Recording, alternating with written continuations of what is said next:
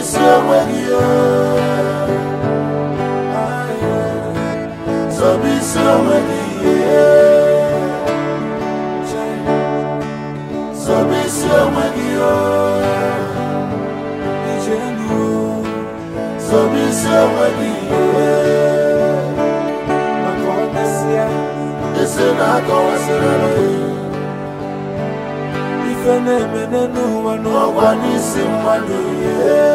All aboard. Hello, friends.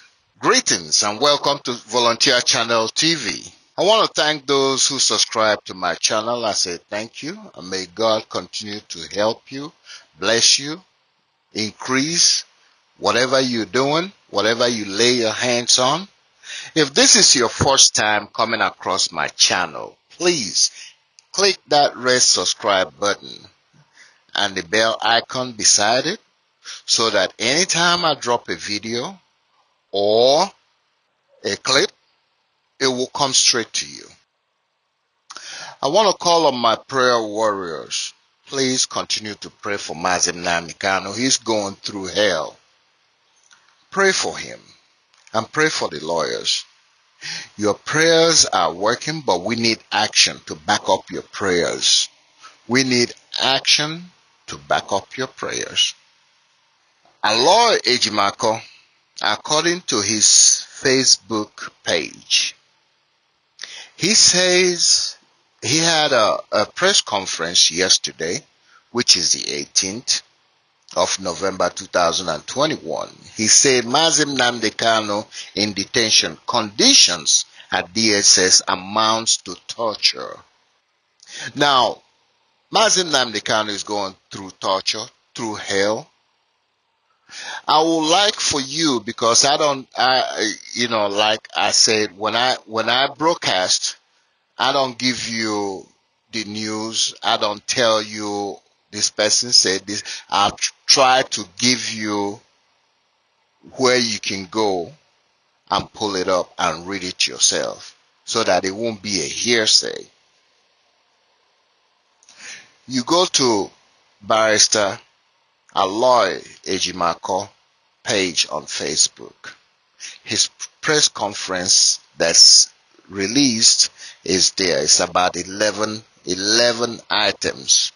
You go there and read it and see how Mazi Nnamdi Kanu is crying out.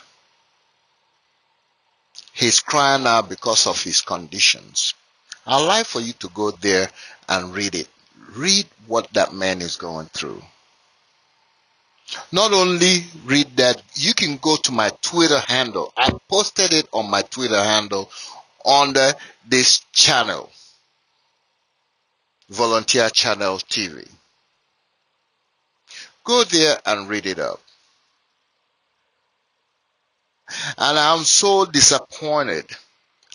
I am so disappointed about IPOB and their folks, about DOS, everybody coming out on social media ranting rubbish. Come on, you need to take that nonsense, go create, go create a forum somewhere, bringing out your dirty laundry on social media to discuss that. Who has time for that? You are deviating. You are losing focus on what you're supposed to do. You are losing focus. You are deviating. People are talking about finances of IPOB and who fired who, who, who left in the, in the DOS. Who gives a damn? We don't care. You are losing focus. You need to focus on your agitation. Whatever decision they make there in IPOB, uh, DOS, they need to form a forum where they can discuss all of that and take care of business and not bringing your dirty laundry out in the open. Who cares? Who wants to know about that? We are talking about Mazi Nnamdi Kanu being in serious condition, facing torture, and you sitting over there gallivanting and talking about finances and and you know anytime you follow a trail of money trying to find out who did this who did that. You are losing focus.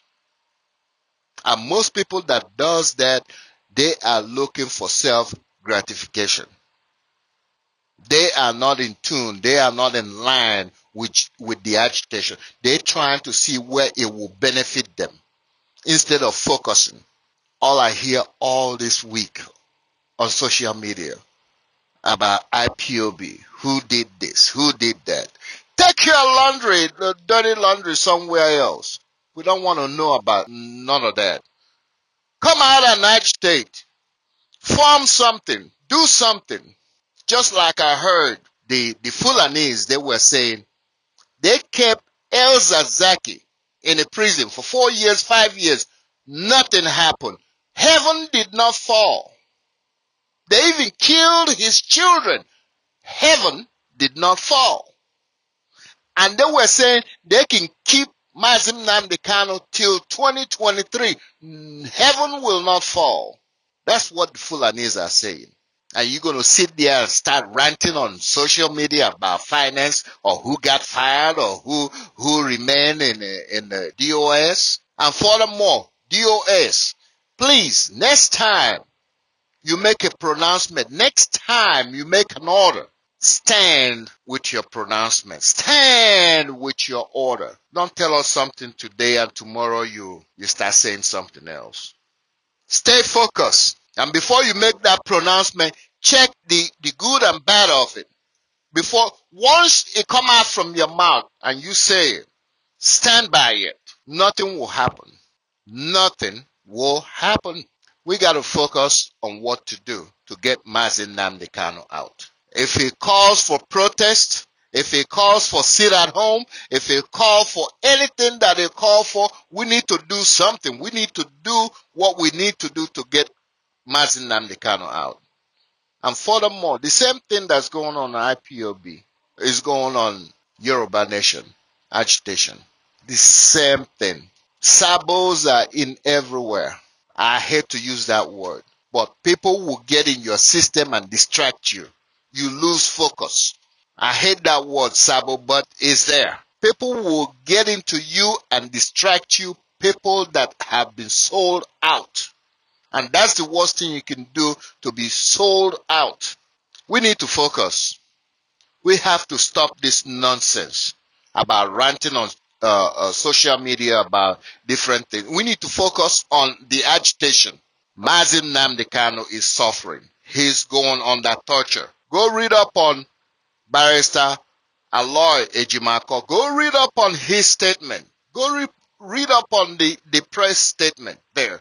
Go read it up. I'm not going to tell you what he said. Go read it up. I got it on my Twitter. Better more, go to his Facebook handle. Barrister Aloy Ejimakor. Search for him. Read it up yourself. So it won't be I said. I'm so mad. I'm so pissed off because I, I, you know, I'm disappointed. I am disappointed. I'm going to go to my next topic, which is COVID. It's there. It's raging. It's still there. It's killing people just like Buhari government. It's just like Buhari government is killing people. People are dying. A lot of people are going to hospital and not coming out because of simple thing that you got to do. Wear your mask. Wash your hands regularly. When you're in the crowd, wear your mask. When you leave the crowd, try to find somewhere and wash your hands. Keep away from people. Social distancing. You can do that. You go to my Twitter handle. I posted the home remedy things that you can do to improve or build your immune system. Exercise if you can, if you, you know, if you're able to. Take the vaccine. I know some people don't want to take the vaccine. That's why I, uh, I posted that stuff on, on my Twitter handle where, you know, it's home remedy to build up your immune system. Do that and you'll be fine. I'm going to go to my next topic, which is men and way of life. BPH, benign prostate hyperplasia, is real. It's wired in you as a male. You will have it whether you like it or not. Take care of yourself. When you start having the symptoms, go see the doctor. And moreover, if you are 50 and over, the list of things that is there waiting on you. For one thing, you're gonna run you're gonna run into obese. You that's one thing you're gonna run into if you don't watch what you eat. And when you have when you're obese, guess what? You're gonna have high cholesterol. You're gonna have high your sugar level is gonna be elevated. You're gonna have high blood pressure. You're gonna have acid reflux. Name it. They, uh, I mean, there's nobody 50 and over that don't take one medication or the other. And the more you don't take care of yourself, the more medication they will be adding to the list. They will be adding to the list. Before you know it, you started with one medication, and this medication I'm telling you is for life. Before you know it, you started with one medication. Before you know it, you're, you're on two medication every day. Before you know it, you're three, four, five, six, seven.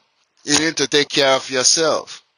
And if you're 50 and over, and you are wishing for good health, I say to you, good luck. There's no such thing. If you're female, you, your menopause is going to be looking at you in your face. The only thing I can tell you is take care of yourself and 50 and over, you've lived half of the century. Uh, you're not going to live another 50 years. If you're 50, you're not looking at another 50 years, maybe another 30 or 40 but you never make it 50. If you do, uh, well, good luck to you. I'm going to stop it here till I come to you next Friday. We'll be praying for you here at Volunteer Channel TV. We're on Instagram, we're on Twitter, and we're here on YouTube. We are going to be praying for you, and we are wishing you a wonderful and a blessed weekend. Till we'll come to you next Friday. Take care of yourself and goodbye.